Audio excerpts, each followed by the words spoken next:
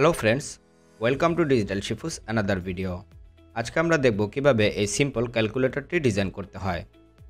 আমার স্ক্রিনে আপনারা যে ক্যালকুলেটরটি দেখতে পাচ্ছেন, এটি দিয়ে আমরা বেসিক ক্যালকুলেশনগুলি করতে পারব।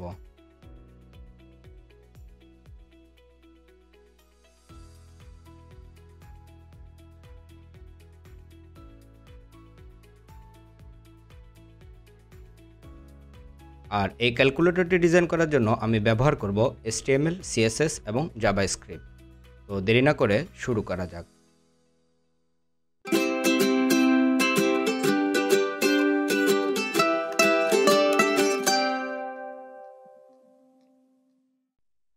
আমার ডেস্কটপে এখানে ক্যালকুলেটর নামে একটি ফোল্ডার রয়েছে এবং এই ফোল্ডারটির ভিতর একদম ফাঁকা। এই ফোল্ডারটি আমি আমার কোড এডিটর ভিএস কোডে ওপেন করি। এবং এখানে ইন্ডেক্স ডট এসটিএমএল নামে একটি ফাইল নেই আর স্টাইল ডট সিএসএস নামে একটি ফাইল নেই।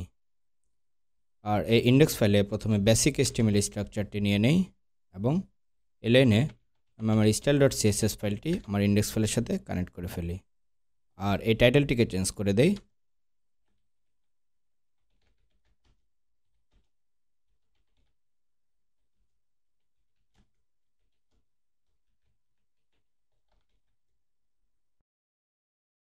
এবার এটিকে লাইভ সার্ভার ওপেন করি।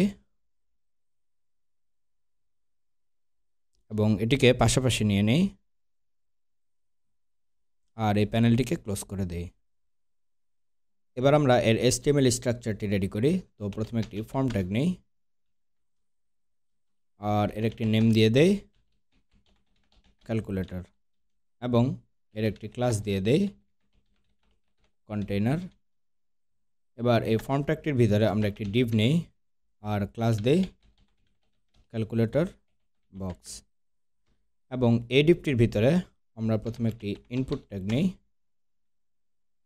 এবং এর একটি ক্লাস নেই, আর এর একটি নেম নেই ডিসপ্লে এবং আমাদের এই ইনপুট ট্যাগটি ডিজেবল থাকবে। এই ইনপুট ট্যাগটির নিচে আমরা আরেকটি ইনপুট ট্যাগ নেই এবং এর টাইপ হবে বাটন এগুলো হবে আমাদের ক্যালকুলেটারের বাটন তো এটাকে আমরা কয়েকবার ডুপ্লিকেট করে ফেলি। এবং এর ভ্যালুগুলোকে চেঞ্জ করে দেই। তো প্রথমটা হবে আমাদের সি এটা দিয়ে হচ্ছে আমরা ক্লিয়ার করব। এটা ডিই এটা দিয়ে হচ্ছে আমরা ডিলেট করব। এটা হবে আমাদের পার্সেন্টেজ এটা হবে আমাদের ডিভাইড এটা হবে আমাদের সেভেন এইট নাইন এবং এটা আমাদের মাল্টিপ্লাই এটা হবে ফোর ফাইভ সিক্স এটা হবে মাইনাস ওয়ান টু থ্রি এবং এটা হবে আমাদের প্লাস সাইন এটা হচ্ছে ডাবল জিরো এটা একটা জিরো এটা ডট এবং এটা হবে আমাদের ইকুয়াল সাইন আর বাকি এগুলো আমরা ডিলিট করে দেই। তো আমাদের এসটিএমএল স্ট্রাকচার রেডি এবার আমরা এর উপরে সিএসএস অ্যাপ্লাই করব। আর সিএসএস অ্যাপ্লাই করার জন্য আমরা আমাদের স্টাইল ডট সিএসএস ফাইলটিতে যাই, এবং প্রথমে আমরা এর মার্জিন এবং প্যাডিংকে রিসেট করে দেই। আর বক্স সাইজিং দিয়ে দেই বর্ডার বক্স এর একটি ব্যাকগ্রাউন্ড কালার দিয়ে দেই। E one E one F three এবং এর আউটলাইন করে দেই নান এবার আমরা আমাদের এই ক্যালকুলেটরটিকে ঠিক মাঝখানে নিয়ে আসি। তো আমাদের ইন্ডেক্স ফেলে যাই। আমাদের এখানে যে কন্টেইনার ক্লাসটি রয়েছে, এটিকে নিই। এবং এর একটি হাইট দিয়ে দেই হান্ড্রেড বিএচ ডিসপ্লে করে দেই ফ্লেক্স জাস্টিফাই কন্টেন্ট সেন্টার এবং অ্যালাইন আইটেমস সেন্টার আমাদের এটি মাঝখানে চলে আসছে। এবার আমরা ক্যালকুলেটরটি রিস্টেল করি। তো আমাদের ইন্ডেক্স ফেলে যাই। আমাদের এইখানে যে ক্যালকুলেটর বক্স ক্লাসটি ছিল, এটিকে নেই। এর ডিসপ্লে করে দেই গ্রিড এবং গ্রিড টেমপ্লেট কলামস হবে। রিপিট ফোর এবং আটষট্টি পিক্সেল আর এর একটি প্যাডিং দিয়ে দেই, চারপাশে পনেরো পিক্সেল এবং এর বর্ডার রেডিয়াস হবে চারপাশে টেন পিক্সেল আর এর একটি বক্স শ্যাডো দিয়ে দেই inset five pixel five pixel এবং টুয়েলভ পিক্সেল আর কালার হবে হোয়াইট এবং আরেকটি বক্স শ্যাডো হবে ফাইভ পিক্সেল ফাইভ পিক্সেল এবং টুয়েলভ পিক্সেল আর এই কালারটি হবে আর জিবিএ জিরো জিরো জিরো এবং জিরো পয়েন্ট ওয়ান সিক্স এবং আমরা এর একটি ব্যাকগ্রাউন্ড কালার দিয়ে দেই E C F zero F three এবার আমরা আমাদের ইন্ডেক্স ফেলে যাই। আমাদের এইখানে যে ইনপুট ট্যাগটি নিয়েছিলাম, এটিতে হচ্ছে আমাদের ভ্যালু এবং রেজাল্ট দুটোই শো করবে। তো আমরা এর ক্লাস দিয়েছিলাম ডিসপ্লে আমরা এই ক্লাসটিকে নিই। এবং এর গ্রিড কলাম করে দেই স্প্যান ফোর অর্থাৎ আমরা এইখানে গ্রিড টেমপ্লেট কলামস দিয়েছিলাম রিপিট ফোর তো আমরা আমাদের এই ডিসপ্লে এই ক্লাসটিকে বলতেছি যে সে যেন পুরো চারটা স্প্যানই নিয়ে নেয়। এবার আমরা এর একটি হাইট দিয়ে দেই, আশি পিক্সেল এবং এর একটি উইথ দিয়ে দেই দুইশো ষাট পিক্সেল আর এর বর্ডার করে দেই নান এবং এর একটি বক্স দিয়ে দেই। আমাদের এইখানে যে বক্স রয়েছে, আমরা এটিকে কপি করে নিই, এবং এইখানে দেই, আর এটা করে দিই মাইনাস ফাইভ পিক্সেল এবং এটা দিয়ে মাইনাস ফাইভ পিক্সেল আর এখানে দিয়ে দেই ইনসেট এবং এর একটি বর্ডার রেডিয়াস দিয়ে দেই ফাইভ পিক্সেল আর এর লেখার কালার হবে আট জিবি সত্তর সত্তর এবং সত্তর। এর ফন্ট সাইজ হবে চব্বিশ পিক্সেল আর এর টেক্সট অ্যালাইন হবে ইন্ড এবং এর মার্জিন টপ হবে চল্লিশ পিক্সেল এবং মার্জিন বটম হবে তিরিশ পিক্সেল এবার আমরা এটা একটি প্যাডিং দিয়ে দেই চারপাশে বিশ পিক্সেল এবার আমরা আমাদের এই বাটনগুলো স্টাইল করি। তো এগুলো রয়েছে আমাদের ইনপুট ট্যাগে আমরা ইনপুট ট্যাগটিকে নিই। আর এর একটি উইথ দিয়ে দেই আটচল্লিশ পিক্সেল এবং হাইট দিয়ে দেই আটচল্লিশ পিক্সেল এবং এর ব্যাকগ্রাউন্ড কালার দিয়ে দেই আমাদের এই কালারটি এবং এর একটি বক্স শ্যাডো দিয়ে দেই। আমাদের এইখানে যেটি রয়েছে, এটিকে কপি করে নিই এবং এইখান থেকে আমরা এই ইনসেটটিকে কেটে দেই। আর এই ইনসেটটিকেও কেটে দেই। এদের বর্ডার করে দেই নান এবং বর্ডার রেডিয়াস দিয়ে দেই ফিফটি পারসেন্ট এদের মধ্যে একটা মার্জিন দিয়ে দেই, চারপাশে আট পিক্সেল এবং এদের ফন্ট সাইজ দিয়ে দেই আঠারো পিক্সেল এবং এদের ফন্ট ওয়েট দিয়ে দেই বোল্ড এবার আমরা আমাদের এই বাটনগুলোতে যখন ক্লিক করব, তখন যারা আমরা বুঝতে পারি যে আমরা এই বাটনটিতে ক্লিক করেছি। এবার এটি করে ফেলি। তো আমরা ইনপুট ট্যাগটিকে নিই এবং এদের টাইপ যেগুলোর বাটন সেগুলো যখন অ্যাক্টিভ হবে, তখন তাদের ব্যাকগ্রাউন্ড কালার হবে D five D five D five এবং তাদের ফন্ট সাইজ হবে ষোলো পিক্সেল তো এবার যদি আমরা চেক করি, হুম, ঠিক আছে।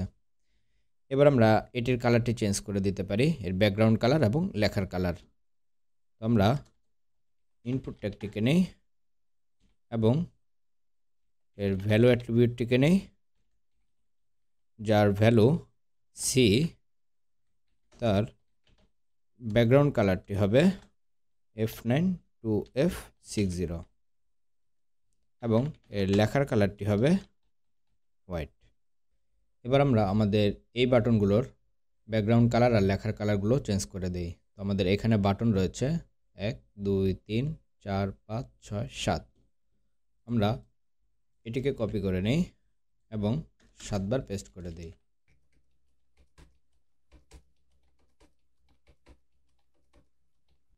আর আমরা এইখান থেকে এগুলোর ভ্যালুগুলো চেঞ্জ করে দিই।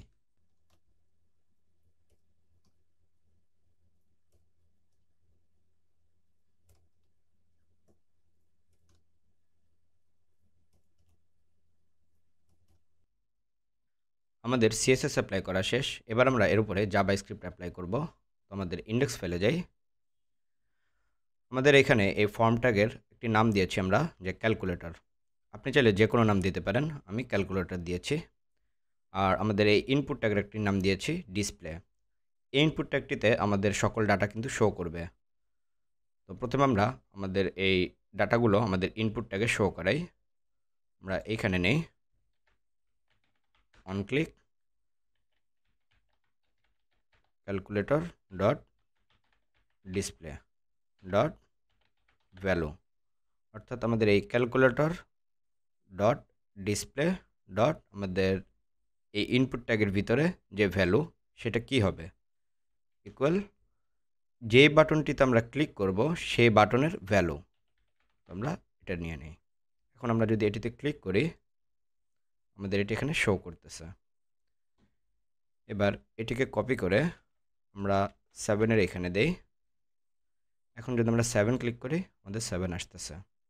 আর এখানে যদি ক্লিক করি, আমাদের এইটা আসতেছে, কিন্তু আমাদের সেভেন কিন্তু চলে যাচ্ছে।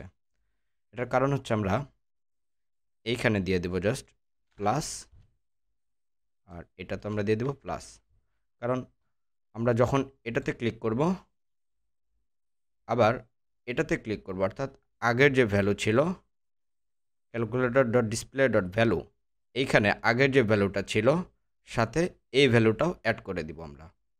তো এখন আমাদের এটা কিন্তু আর যাচ্ছে না।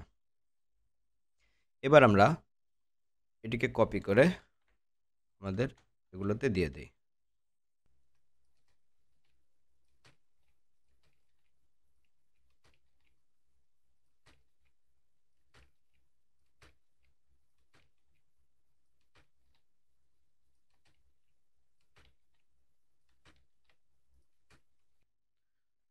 এবার আসি আমাদের এই ইকুয়াল সাইনে তো যখন আমরা এটিতে ক্লিক করব, তখন আমাদের এই ডিসপ্লেতে যে ভ্যালু থাকবে, তার একটা রেজাল্ট শো করবে। আমরা এখানে একটি অন ক্লিক নেই এবং এটি কপি করে নেই। ইকুয়াল ইভ্যাল এবং এই ডিসপ্লেতে যে ভ্যালুটা আছে, তার রেজাল্ট তো এবার যদি আমরা দেখি ঠিক আছে? ঠিক আছে? কিন্তু আমরা যখন এই মাল্টিপ্লাই করতে যাব, তখন আমাদের এটা কাজ করবে না। কারণ আমরা এইখানে ভ্যালুতে নিয়েছি কিন্তু এটা এক্স এটা মাল্টিপ্লাই না। আমরা এইখান থেকে জাস্ট এই ভ্যালুটা এটা সরিয়ে দিয়ে আমরা এখানে দিব মাল্টিপ্লাই এখন যদি আমরা এটা করি এবার ঠিক আছে। এবার আমরা আমাদের এই বাটনটির কাজ করি। তো এখানে কি হবে? যখন আমরা এটিতে ক্লিক করব, তখন আমাদের এইখানে যে ভ্যালু থাকবে, সেটি ক্লিয়ার হয়ে যাবে। তো এখানে নেই। অন ক্লিক এবং আমাদের এটিকে কপি করে নেই। এটা ইকুয়াল কি হবে? এমটি স্ট্রিং এবার আমরা এটিকে চেক করে দেখি। এটি ক্লিয়ার হইতেছে। এখন আমরা আমাদের এই ডিলেট বাটনের কাজ করি। তো যখন আমরা এই ডিলেট বাটনে ক্লিক করব, আমাদের এই ডিসপ্লের ভ্যালুর সে, শেষের ভ্যালুটিকে ডিলেট করে দিবে। তো আমরা এখানে একটি অন ক্লিক নেই এবং আমরা এটিকে কপি করে নিই। ইকুয়াল আমাদের ডিসপ্লের ভ্যালু ডট সাব স্ট্রিং এবং জিরো ইন্ডেক্স থেকে হবে আর display value dot length minus one অর্থাৎ শেষের ইন্ডেক্সটিকে সে ডিলিট করে দিবে। তো এবার যদি চেক করি, হুম এটি কাজ করতেছে। এখন আমরা আমাদের এই পার্সেন্টেজ বাটনের কাজ করি। তো এখানে কি হবে? যখন আমরা কোনো কিছুর পার্সেন্ট জানতে চাবো, এখানে ক্লিক করব। এই ডিসপ্লেতে সরাসরি আমাদের এটির রেজাল্টটি শো করবে। তো আমরা এখানে একটি অন ক্লিক নেই, আর এটিকে কপি করে নেই। ইকুয়াল ইভ্যাল এবং এটার ভিতরে আমাদের যে ভ্যালুটি থাকবে, সেটি ডিভাইডেড বাই হান্ড্রেড তো এবার যদি আমরা দেখি এটির রেজাল্টটি শো করতেছে। তো আমাদের ক্যালকুলেটর বানানো কমপ্লিট এবার আমরা এটিকে চেক করি।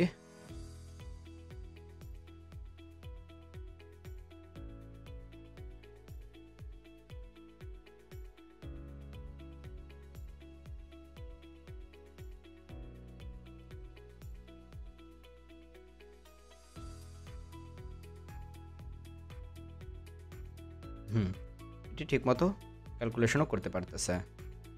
তো এই ছিল আমাদের আজকের ভিডিও আশা করি ভিডিওটি আপনাদের ভালো লেগেছে। যদি ভিডিওটি আপনাদের ভালো লেগে থাকে ভিডিওটিতে লাইক করতে ভুলবেন না। আর আপনি যদি চ্যানেলটিতে নতুন হয়ে থাকেন চ্যানেলটি সাবস্ক্রাইব করবেন।